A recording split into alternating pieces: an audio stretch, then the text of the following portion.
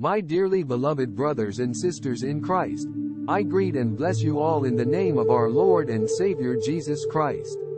May the name of the Lord be glorified. On this day, Deck Point 23 Road, it is a great pleasure to meet you all through this auspicious message. May the Lord bless you all.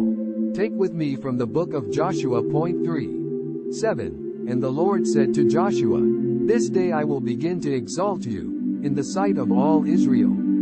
That they may know, that as I was with Moses so I will be with you. My dear brothers and sisters, God will exalt you today before those who spoke ill of you. He will exalt you before those who despised you and also ill-treated you. Before the people who could have said, after all you have just come today, young boy what are you going to achieve greatly? To those who spoke against you in such a way, the Lord will exalt you. That day the Lord assured Joshua. Today the Lord is assuring you in the same manner that he will exalt you. Joshua was one among the lots of people who walked under Moses. All the people saw Joshua working along with Moses.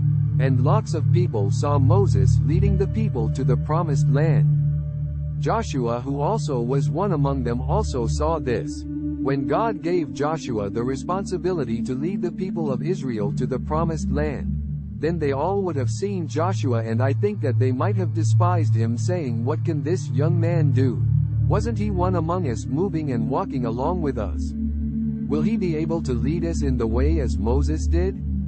That is why I think that the Lord has given this promise to Joshua. He strongly emphasizes that he will remain with Joshua as he was with Moses, in the sight of all Israel. That they may know, that as I was with Moses so I will be with you. God tells him that he would glorify him. So this shows that he was despised by all the people of Israel as they thought that he was not so efficient as Moses. If they had good regard for Joshua then it wouldn't have been necessary for the Lord to say that. So in the midst of such people who despised him, the Lord exalted him to show the people that God was with Joshua as he was with Moses. God used him as the ambassador of God to lead the people of Israel. They could have thought, is he going to lead us? Yes, it was he who led the people of Israel to the promised land and distributed the land according to the tribes. He distributed the land as God had promised to Moses, to the twelve tribes. My dear children of God, those of you who are reading this message, God who is going to give you an elevation in some area of your life, is coming in search of you. But all those who are with you, around you, they may be thinking, this fellow came after me. How come he has gone before me or has obtained such an upgradation in his life? He was loitering along with us. In such a surprising manner, in the front of those who degraded you or despised you, God will exalt you before them didn't speak about Jesus himself saying, Isn't he the son of Joseph the carpenter? His father was just a carpenter. He is the son of an ordinary carpenter. We see how people were gossiping about Jesus himself in the Word of God. In the same manner your relatives, those who surround you, your friends, who are your close associates, and all those residing around you, may be speaking ill about you. Before all those people God will exalt you. Do you know why the Lord had exalted Joshua? Because he did not leave the temple of God. He was a dedicated follower of Moses his leader. Though Moses left the temple of God after all his work Joshua remained in the temple court.